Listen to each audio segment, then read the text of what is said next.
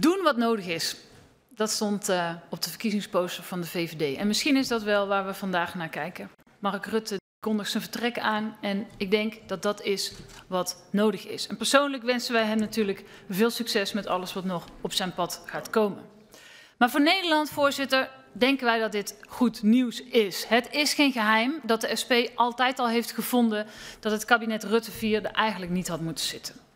Rutte 4 is een doorstart geweest van het kabinet Rutte 3, dat op moest stappen omdat het toeslagenschandaal aan het licht kwam. Maar het waren dezelfde mensen in dezelfde partijen met dezelfde ideeën die doorgingen. En we hebben steeds gezegd, wij geloven gewoon niet dat de mensen die verantwoordelijk zijn voor die grote problemen, dat die ook de oplossingen kunnen gaan realiseren. En dat is wat we hebben gezien. Want dit kabinet heeft geen problemen opgelost, maar meer problemen gecreëerd. Kijken we naar toeslagenschandaal. Het is nog steeds niet opgelost. Maar het kabinet vond het niet nodig om daarvoor op te stappen. De mensen die gedupeerd zijn in Groningen, die nog steeds ontzettend wachten op gerechtigheid. Het kabinet vond het niet nodig om op te stappen. Het feit dat werkende mensen in Nederland nog steeds meer belasting betalen dan grote bedrijven over hun hysterische winst. Het kabinet vond het niet nodig om op te stappen.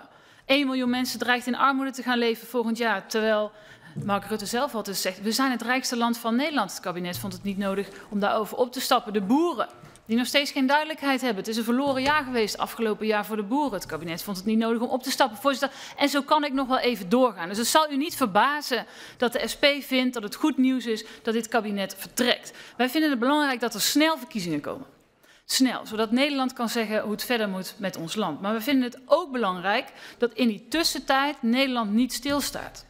Want er is nog steeds geen betaalbaar huis te vinden. En mensen in het toeslagenschandaal wachten nog steeds op gerechtigheid. En er zijn nog ontzettend veel huizen die geïsoleerd moeten worden omdat de energierekeningen door het dak gaan.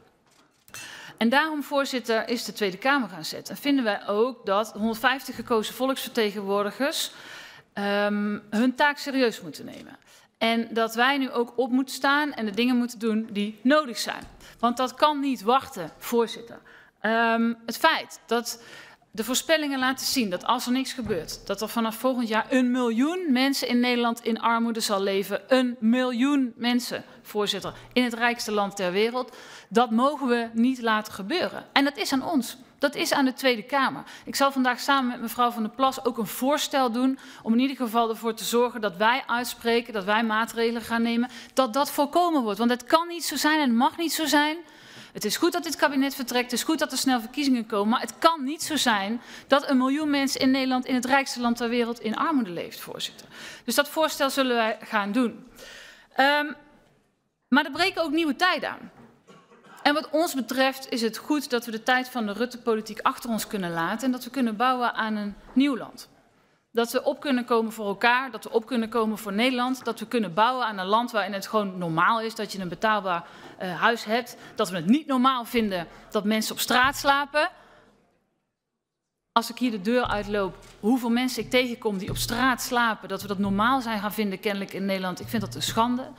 Een land waarin we eerlijk delen, een land waarin we de vermogensongelijkheid wel aanpakken. Een land waarin we niet een klimaatfonds hebben van wat is het 35 miljard, waar ook subsidies voor grote vervuilende bedrijven in zitten. Maar dat we mensen helpen met hun huizen isoleren. Een land waarin we de hoge kosten aanpakken. Een land waarin we ervoor zorgen dat mensen die werken, dat die minder belasting betalen dan grote bedrijven over hun gigantische winsten. En dat land kunnen we samen bouwen, voorzitter.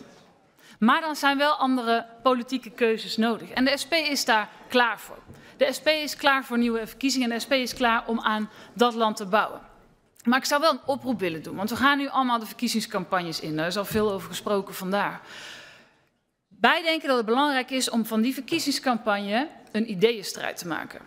We kennen allemaal, we gaan vast en zeker allemaal die uitnodigingen weer krijgen voor allerlei verkiezingsdebatten met stellingen en rode knoppen en groene knoppen en weet ik veel wat allemaal niet meer. En we gaan weer een geveinsde tweestrijd misschien doen of we gaan wellicht wel strategisch stemmen. Laten we deze, die bullshit misschien een keer achter ons laten. Laten we er een ideeënstrijd van maken Laten we ervoor zorgen dat er iets te kiezen valt. Die ruimte, die politieke ruimte, die is er nu. Maar die oproep, die zou ik vandaag hier wel willen doen, voorzitter. En de SP gaat daar heel graag in voorop. Dank je wel. Dank u wel, mevrouw Marijnissen.